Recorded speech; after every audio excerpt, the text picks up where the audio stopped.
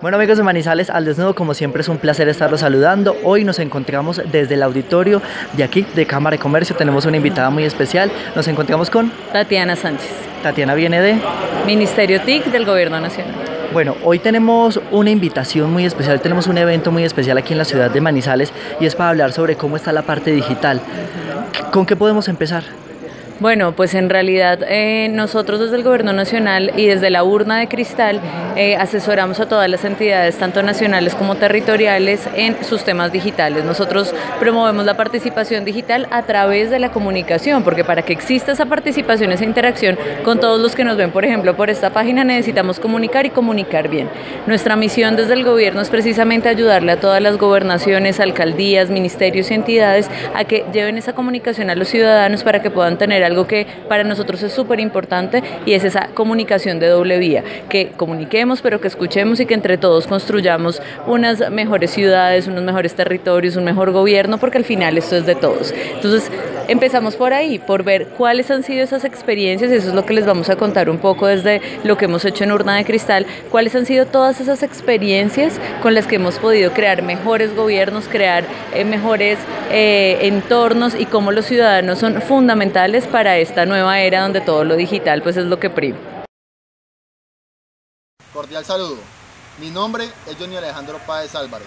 Fui un afortunado beneficiario de la segunda convocatoria del Fondo de Desarrollo del Talento Digital del Ministerio de las Tecnologías de la Información y las Comunicaciones, MINTIC. Soy egresado de la Universidad de Caldas, con sede en el municipio de La Dorada, del programa de Tecnología en Sistemas Informáticos. Mi experiencia como estudiante de esta carrera me resultó muy satisfactoria. Allí pude aprender acerca de la materia y posteriormente especializarme en el diseño y la administración de bases de datos. En Colombia los jóvenes y de pronto pues la parte de los adultos mayores están conectados, están utilizando internet o cómo está de pronto una cifra o un balance respecto a esto.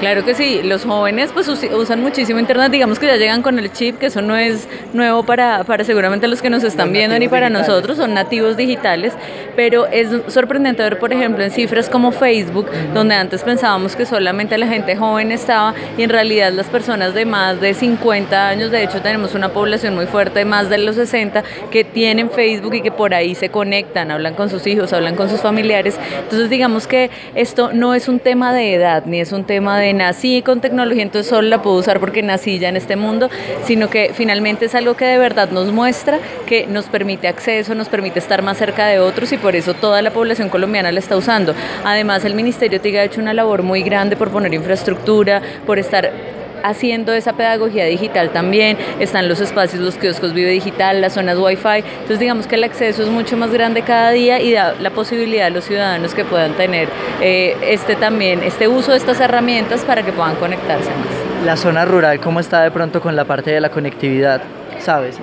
Ha estado avanzando muchísimo, digamos que todas las cifras y para ser más exacto, pues ustedes tienen el Ministerio TIC, ahí está todo y encuentran toda la información, eh, sin embargo sí avanza muchísimo y eso se ve también en los niveles de participación.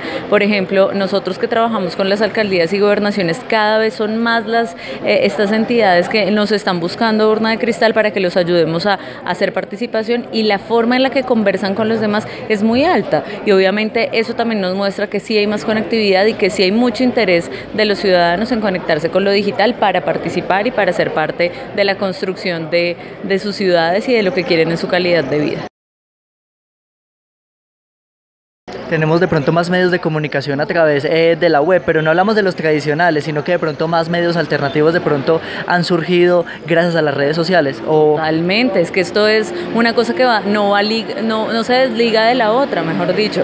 No son solo las redes sociales, las redes sociales despliegan un montón de posibilidades, ya no solamente son las páginas web, de hecho, eh, muchos de nosotros, los que nos dedicamos a este mundo digital, a veces decimos, ya casi la gente no entra a páginas web, díganme cuántas páginas web conocen ustedes, o si la mayoría entra a Google y busca. Eh, y eso le, y, es como la rutina, lo que nos está pasando a todos diariamente. Eh, entonces, digamos. que uno hace es meterse a Facebook y.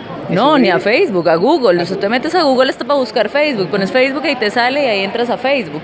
Entonces, digamos que así va avanzando la tecnología, pero eso lo que hace también es mostrar la cantidad de cosas que hay. Lo que nosotros decimos y yo puedo hablar desde gobierno, tú finalmente pues estás hablando más general, yo hablo desde la experiencia pues que vengo a representar acá eh, y es finalmente que nosotros debemos estar donde está la gente para escucharla, porque esa es la función del gobierno finalmente, escuchar a los ciudadanos y cogobernar con ellos. Entonces, eh, pues para nosotros obviamente no es solamente estar en redes sociales o en una página web, sino estar adaptándose a esos cambios tecnológicos porque finalmente ahí es donde está la ciudadanía y lo que queremos es finalmente promover esa democracia.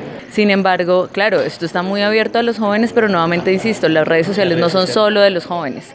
Eh, y ese es como un mito que tenemos y obviamente los jóvenes son muy importantes, pero yo creo que ellos ya vienen con el chip. Yo creo que esto es más también demostrarle a los otros que no nacieron con ese chip, cómo de verdad estas nuevas tecnologías también pueden ayudar y cómo también hay que ser responsables a la hora de usarlas para saber qué es verdad y qué no, para saber cómo no caer en fake news, que eso los jóvenes creo que lo tienen un poco más eh, desarrollado y lo tienen y como vienen con el chip no caen tan fácil, en cambio los más grandes de pronto sí. Entonces yo creo que claro, una invitación es que en estos temas todo el mundo debería estar invitado, sin embargo es una responsabilidad propia de cada uno de nosotros, pues cómo ser responsable ante la información. Muchísimas gracias. Con gusto.